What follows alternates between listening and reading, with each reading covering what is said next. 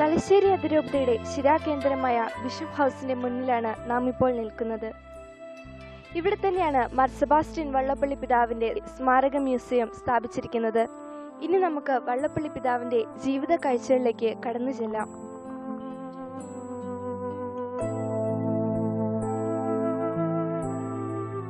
ഇടയനും നേതാവുമില്ലാതെ ചിതറിക്കിടന്നിരുന്ന ഒരു ജനതയ്ക്ക് മുന്നിൽ മോശയെ പോലൊരു നായകൻ അചഞ്ചലമായ ദൈവവിശ്വാസത്തിൽ അബ്രാഹത്തെ പോലൊരു പിതാവ്. ഒരു നാടിന്റെയൊക്കെ സമഗ്ര പുരോഹിതിക്കായി ദീർഘവീക്ഷണത്തോടെ യത്നിച്ച ക്രാന്തദർശി. തലശ്ശേരി രൂപതയുടെ പ്രഥമ മെത്രാൻ മാർ വള്ളപ്പള്ളിക്ക് വിശേഷണങ്ങൾ ഏറെയാണ്.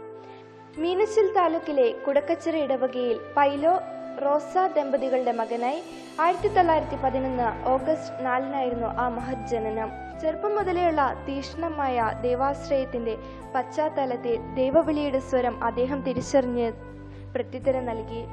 ചങ്ങനാശ്ശേരി മൈനർ സെമിനാരിയിൽ ചേർന്നു.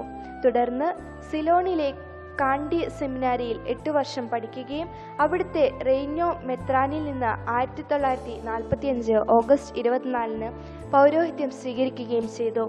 ആയിരത്തി തൊള്ളായിരത്തി അൻപത്തി മൂന്ന് ഡിസംബർ മുപ്പത്തിയൊന്നിന് തലശ്ശേരി രൂപതയുടെ അഡ്മിനിസ്ട്രേറ്ററായി നിയമിതനായ മാർ വള്ളോപ്പള്ളിയുടെ മെത്രാഭിഷേകം ആയിരത്തി തൊള്ളായിരത്തി അൻപത്തി ആറ് ജനുവരി എട്ടിന് റോമിൽ വെച്ചായിരുന്നു. ദൈവിഷ്ടം നിറവേറ്റുവാനായി ഹൃദയ നിറവിൽ അദ്ദേഹം നിർവഹിച്ച കർമ്മങ്ങളെല്ലാം മനുഷ്യന്റെ നന്മയ്ക്കും ദൈവത്തിന്റെ മഹത്വത്തിനുമായി പരിണമിക്കുകയായിരുന്നു. ഇതിന്റെ പ്രതിഫലമായാണ് നിരവധി പുരസ്കാരങ്ങൾ അദ്ദേഹത്തെ തേടിയെത്തിയത്. വിശുദ്ധ യോസെ പിതാവിന്റെ വലിയ ഭക്തനും കൂടി ആയിരുന്നു അദ്ദേഹം. അദ്ദേഹം ഉഴുതുമറിച്ച നിലങ്ങളെല്ലാം നൂറുമേനി വിളവ് നൽകി. ആയിരത്തി തൊള്ളായിരത്തി എൺപത്തി ഒൻപത് മെയ് ഒന്നിന് രൂപതാഭരണം മാർ ജോർജ് വലിയമറ്റത്തിന് കൈമാറി വിശ്രമ ജീവിതത്തിലേക്ക് പ്രവേശിച്ച കുടിയേറ്റ ജനതയുടെ വത്സല പിതാവ് രണ്ടായിരത്തി ആറ് ഏപ്രിൽ നാലിന് നിത്യതയിലേക്ക് വിടവാങ്ങി. വള്ളപ്പള്ളി പിതാവ് ഉപയോഗിച്ചിരുന്ന തിരുവസ്ത്രങ്ങളാണ് ഇവയെല്ലാം. പിതാവിന്റെ അധികാര ചിഹ്നമായ മോതിരവും തൊപ്പിയും പിതാവ് ഉപയോഗിച്ചിരുന്ന ഡ്രസ്സിംഗ് ടേബിളും പിതാവിന്റെ ജീവിത കാലഘട്ടങ്ങളിൽ അദ്ദേഹം ഉപയോഗിച്ചിരുന്ന വിവിധ വസ്തുക്കൾ.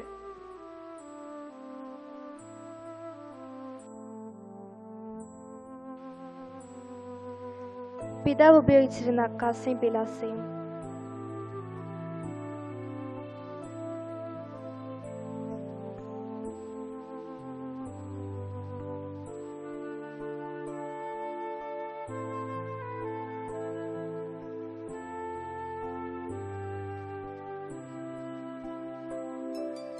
പിതാവിന്റെ സ്റ്റാമ്പ് കളക്ഷൻ. പിതാവിന്റെ കസേര. പിതാവ് ഉപയോഗിച്ചിരുന്ന ഹാർമോണിയം. ചവിട്ടി വായിക്കുന്ന ഇതുപോലുള്ള ഹാർമോണിയം നമ്മളാരും കണ്ടിട്ട് പോലും ഉണ്ടാവുകയില്ല. പിതാവ് ഉപയോഗിച്ചിരുന്ന കട്ടിൽ ഇത് അദ്ദേഹത്തിന്റെ ലാളിത്യ ജീവിതത്തിന്റെ ഒരടയാളമായി അവശേഷിക്കുന്നു.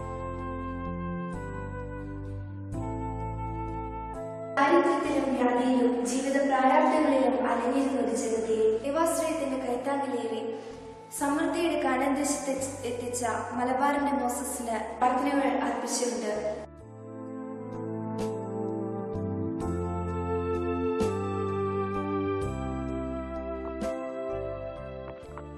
ഞാനിപ്പോൾ നിൽക്കുന്നത് തലശ്ശേരി കത്രീഡ്രൽ ദേവാലയത്തിന് മുൻപിലാണ്.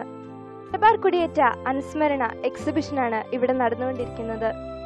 അതോടൊപ്പം ബിഷപ്പ് മത്സബാസ്റ്റ്യൻ വള്ളപ്പള്ളി കബറിട തീർത്ഥാടനവും ഇവിടെ നടക്കുന്നു. ഇവിടെ ഒരുക്കിയിരിക്കുന്ന കാഴ്ചകളിലേക്ക് നമുക്ക് കടന്നില്ല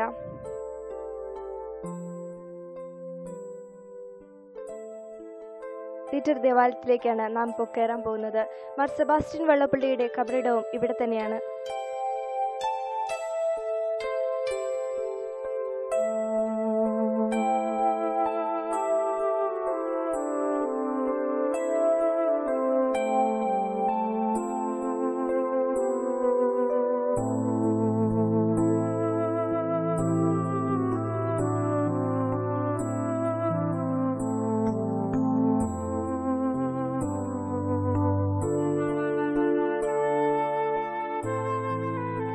കർഷകരുടെ വെല്ലുവിളികൾ ആദ്യകാല ജീവിതത്തിലേക്ക് നമുക്കൊന്ന് കടന്നു ചെല്ലാം.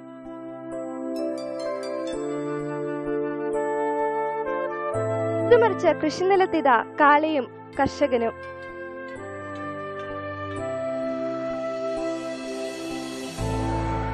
ഇതാ വളരെ മനോഹരമായ ഒരു കാട് ഇവിടെ അണിയിച്ചിറക്കിയിട്ടുണ്ട്. പണ്ടത്തെ കാലത്ത് കർഷകരുടെ വെല്ലുവിളികൾ ഇതൊക്കെ തന്നെയായിരുന്നു. എന്ത് നട്ടു വിളയിച്ചാലും അത് കൊണ്ടുപോകാൻ കുറെ കാട്ടുമൃഗങ്ങൾ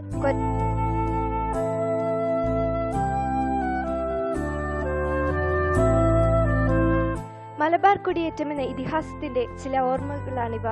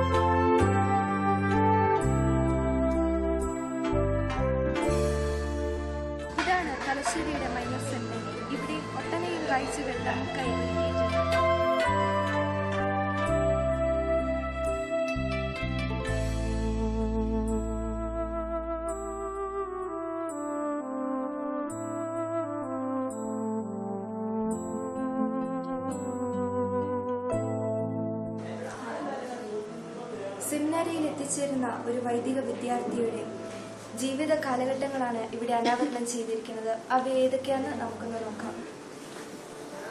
സെമിനാരി ആയിരത്തി തൊള്ളായിരത്തി എഴുപതുകളിലെ വസ്ത്രധാരണ രീതിയാണ് ഇത്. മൈനർ സെമിനാരി ഫിലോസഫി കാലഘട്ടത്തിലെ വസ്ത്രധാരണ രീതിയാണിത്. വൈദിക വസ്ത്ര സ്വീകരണം എട്ടാം വർഷം.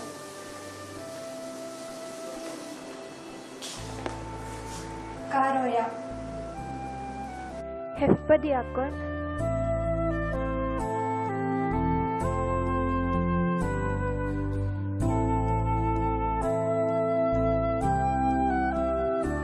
സിസ്റ്റേഴ്സിന്റെ വിവിധ കോൺക്രിയേഷനുകളും അവരുടെ വസ്ത്രധാരണ രീതികളുമാണ് ഇവിടെ കാണിച്ചിരിക്കുന്നത്.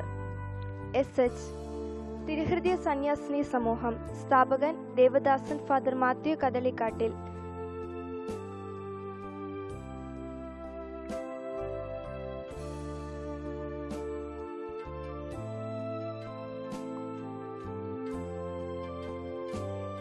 S A B S കോൺഗ്രേഷന്റെ പേര്.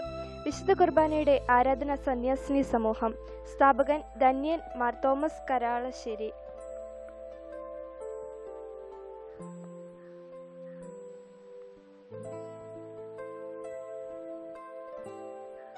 C M C കോൺഗ്രേഷന്റെ പേര് കർമ്മല മാതാവിന്റെ സന്യാസിനി സമൂഹം. സ്ഥാപകൻ വിശ്വ Chavara Kuriakose Elias.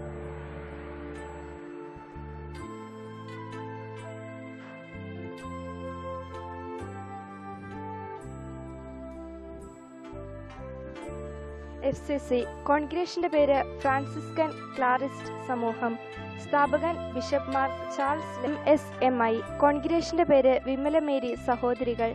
സ്ഥാപകൻ Mon C J Varghese Kuzhikkulam. M S J. കോൺഗ്രേഷന്റെ പേര് medical sisters of Saint Joseph.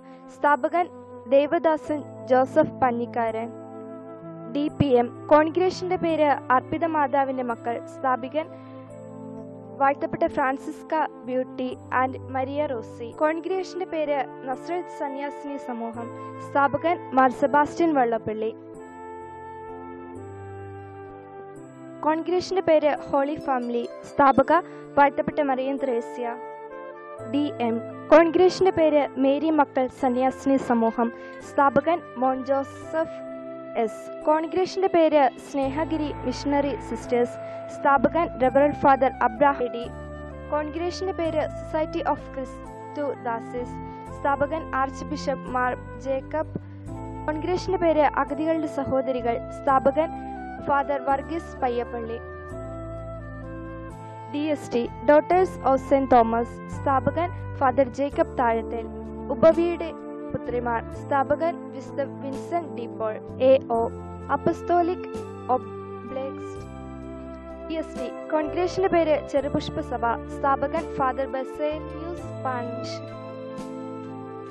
M C B S. കോൺഗ്രിഗേഷന്റെ പേര് ദിവ്യകാരുണ്യ മിഷണറി സഭ. സ്ഥാപകൻ father Joseph Parayidam and father Mathew സെമിനാരിയുടെ റെക്ടർമാരായി സേവനമനുഷ്ഠിച്ച അച്ഛന്മാരെയും അവരുടെ കാലഘട്ടവും നമുക്ക് പരിചയപ്പെടാം.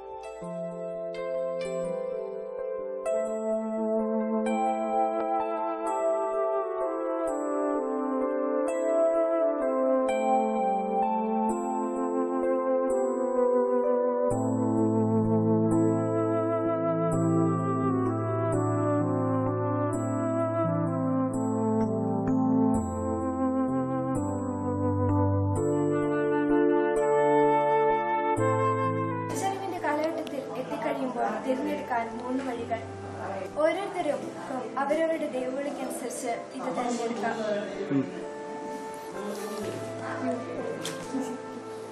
വഴി ഏതായാലും അവ എത്തിച്ചേരുന്നത് ദൈവത്തിങ്കിലേക്ക്.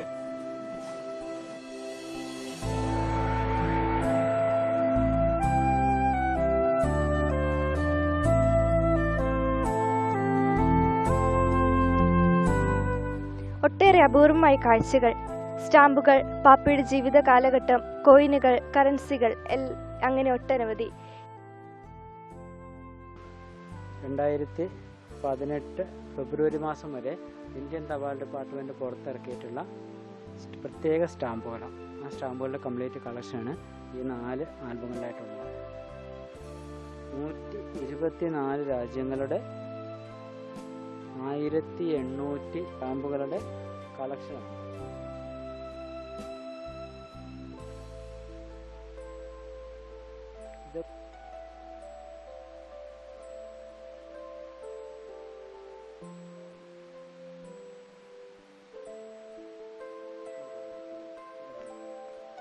സൈപ്രസിന്റെ സ്റ്റാമ്പാണ്. ബെനഡിക്റ്റ് പതിനാറാമൻ പാപ്പ. സൈപ്രസ് സന്ദർശിച്ചതിനോടനുബന്ധിച്ച് അവർ പുറത്തിറക്കിയിട്ടുള്ള സ്റ്റാമ്പാണ്. ഇത് ഓസ്ട്രേലിയയുടെ മിനിയേച്ചർ ഷീറ്റാണ്. അഞ്ച് സ്റ്റാമ്പുകളടങ്ങുന്ന മിനിയേച്ചർ ഷീറ്റാണ്.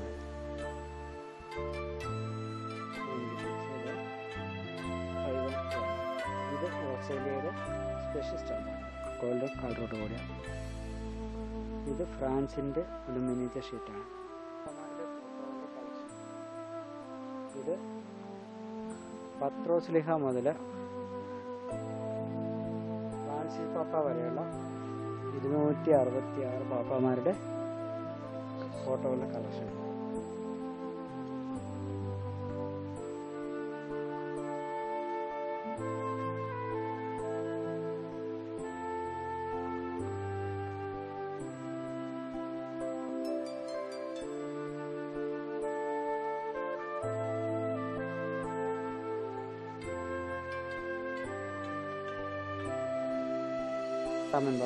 തൊള്ളായിരത്തി അറുപത്തി മൂന്നിൽ അദ്ദേഹത്തിന്റെ സ്ഥാനാരോഹണ ചടങ്ങിന്റെ ഫോട്ടോയാണ്. പ്രബോധകൻ ജോൺ പോൾ സെക്കൻഡ് എന്ന പേരിൽ എണ്ണൂറോളം ഫോട്ടോകൾ അടങ്ങുന്ന ഒരു ആൽബമാണ്.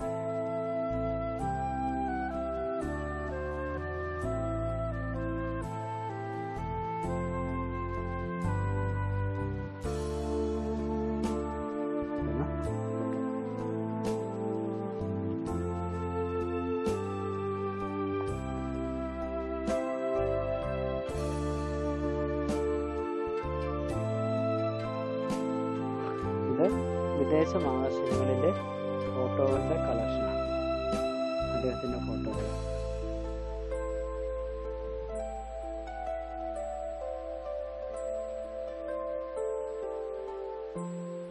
ഈ രണ്ട് ഫോട്ടോകൾ മാധ്യമങ്ങൾ ഒന്ന് കേരളത്തിലെ മാധ്യമങ്ങളൊന്നും പുറത്തു വിട്ടിട്ടുണ്ടായിരുന്ന മാധ്യമങ്ങളെല്ലാം അദ്ദേഹത്തിന്റെ മുഖം ദുബാര കൊണ്ട് മൂടുന്നതും ആ അദ്ദേഹത്തിന്റെ ശരീരം വെച്ചിരിക്കുന്ന ബോക്സ് ഉള്ളിലുള്ള പിന്നെ ബിന്നിച്ചേട്ടന് അതിവിപുലമായ നാണയങ്ങളുടെ കളക്ഷനുമുണ്ട്. നമുക്കിനി അത് കാണാം.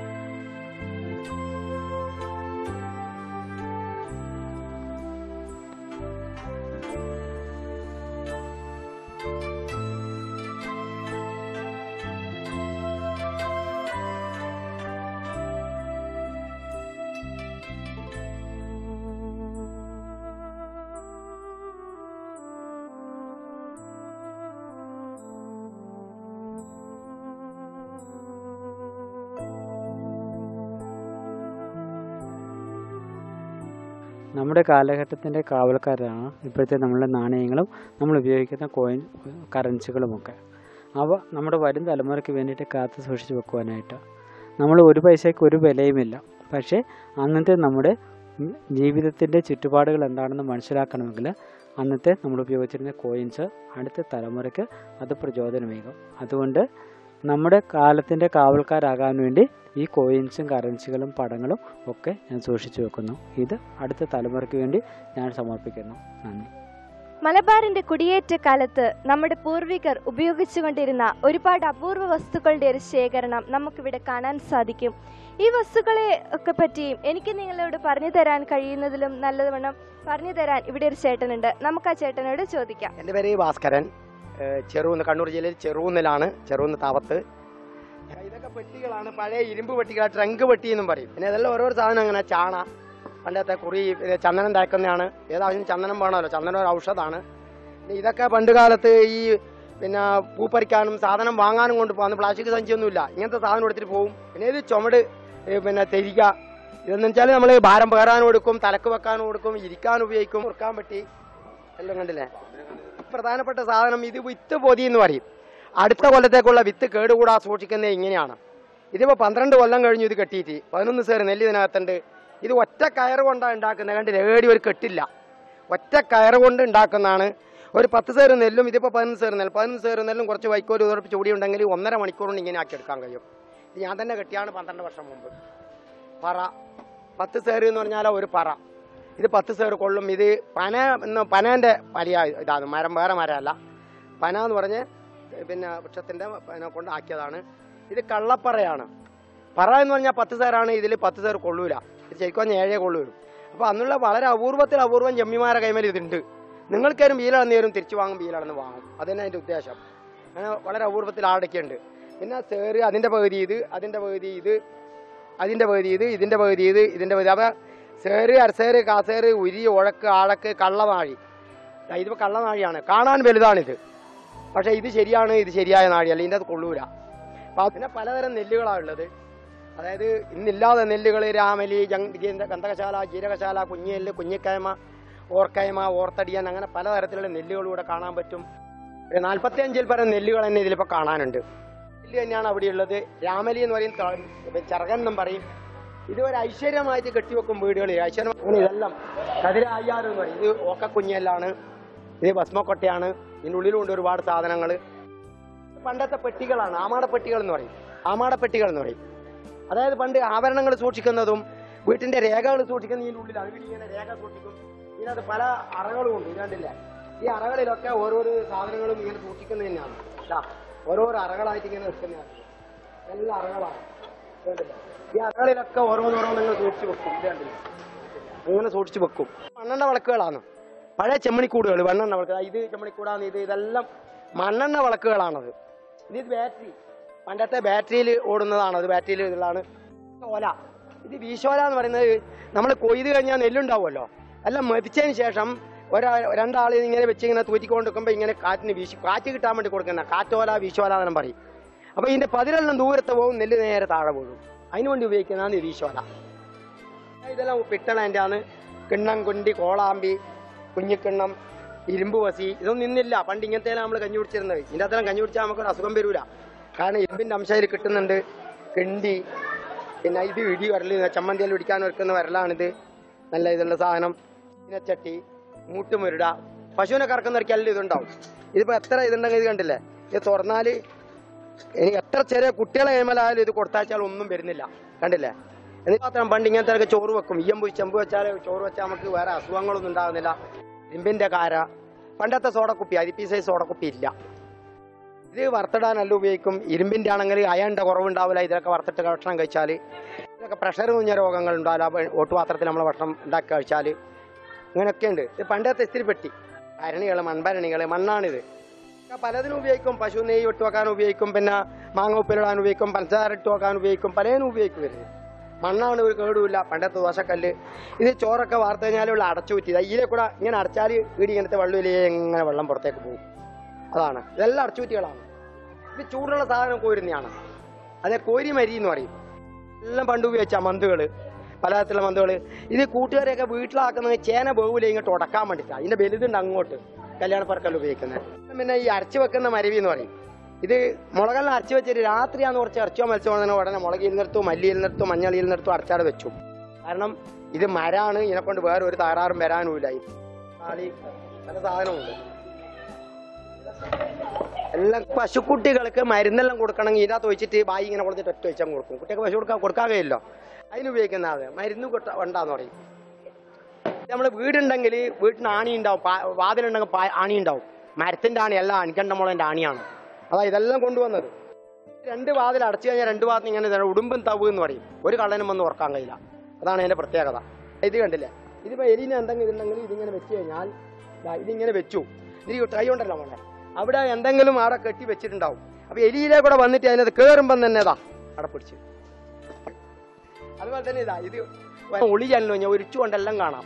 ഇനി ഇത് മരുന്നരക്കുന്ന അമ്മി സാധാരണ അരക്കുന്ന അമ്മി എല്ലാം അരക്കാൻ പൊടിക്കാനും എല്ലാം ഉപയോഗിക്കും. ഇനി പിന്നെ തിരിപ്പ് കല്ല് പൊടിക്കുന്ന കല്ല് എന്നെല്ലാം എന്നെല്ലാം പറയും. പണ്ട് കാലത്തുള്ള ചുമരിന് ഈ സൈസ് മൺകട്ടയാണ് ഉപയോഗിക്കുക. മൺകട്ട ഉപയോഗിച്ചാൽ എന്താ ഗുണം എന്ന് വെച്ചാൽ എ സിയും വേണ്ട ഫാനും വേണ്ട ഒന്നും വേണ്ട. എപ്പോഴും നല്ല സുഖമായിരിക്കും. ഇത്ര ഓട്. ഓടിന്റെ തായര് വെക്കുന്ന ഓടാ ഇത്. എന്താണെന്ന് വെച്ചാൽ ചൂടടിക്കാതിരിക്കാനും വെള്ളം ചോരാതിരിക്കാനും മൂലിയോട് പാത്തിയോട് അതിന് തവര തകരം വെക്കുന്നുണ്ടല്ലോ. വെള്ളം പോകാൻ അതിന് പകരം ഇങ്ങനെ തോടാ വെക്കുക. ഇന്നലെ ഉഴുകിക്കഴിഞ്ഞാൽ കട്ട അടിച്ച് പൊട്ടിക്കാൻ വേണ്ടി ആ കട്ടക്കോയി എന്ന് പറയും ഇതിന്. അതുപോലത്തെ സാധനം ഉണ്ട്. കട്ടക്കോയി പിന്നെ ഇത് പുത്തരിക്കൊള്ളി. അത് എന്തിനാ വെച്ചാൽ ഈ പയറ് പയറ് ഉഴുന്ന് ഇതൊക്കെ പൊരിച്ചു കഴിഞ്ഞാൽ ഇതിനെ കൊണ്ടാണ് അടിച്ചിട്ട് അതിനെ എടുക്കുക അതായത് ഇടയെന്ന് വെച്ചാൽ ഉയരമുള്ള സ്ഥലത്ത് വെള്ളം ഉണ്ടാവില്ല അപ്പൊ താഴെയുള്ള സ്ഥലത്ത് അതിന്റെ നേരെ താഴെ കണ്ടത്തിൽ വെള്ളം ഉണ്ടാവും. അപ്പൊ രണ്ട് തൂണി ഇങ്ങനെ വെച്ചിട്ട് ഇതിന്റെ വീട് ഇങ്ങനെ ഒരു കയറ് കെട്ടിയിട്ട് ഇതിങ്ങനെ ഉന്തി മേലേക്ക് വെള്ളം തീകാൻ വേണ്ടിയിട്ടുള്ള സാധനം ഊണി എന്ന് പറയും. ഇതുമായി തൊട്ടിലിട്ടിട്ടാണ് ആട്ടി ഉറക്കുക ഇതൊരു റാത്തലാണ്. ഇത് അരത്തുലാൻ ഇതും അരത്തുലാൻ. അപ്പൊ അങ്ങനെയുള്ള കാര്യങ്ങൾ ഇത് രണ്ടും കൂടെ കൂടിയാൽ ഇതിന്റെ തൂക്കം ഉണ്ടാവും. ഇന്നത്തെ തലമുറയിൽ നിന്നും അന്യം നിന്നുകൊണ്ടിരിക്കുന്ന ഒരുപാട് അറിവുകളാണ് ചേട്ടൻ നമുക്ക് പറഞ്ഞു തന്നത്. തിയേറ്ററിന്റെ ചരിത്രം ഇവിടെ അവസാനിക്കുന്നില്ല. ഇന്നത്തെ എക്സിബിഷനും നാളെ ചരിത്രത്തിന്റെ ഭാഗമാകും. നമ്മളും അതിൽ ലേശം തരും. ഇന്നിവിടെ കണ്ട കാഴ്ചകൾ നമുക്ക് ഓരോരുത്തർക്കും നാളത്തേക്കുള്ള പ്രചോദനമാകട്ടെ എന്ന് ആശംസിച്ചുകൊണ്ട് it's me Aswathi Maria Mathew signing off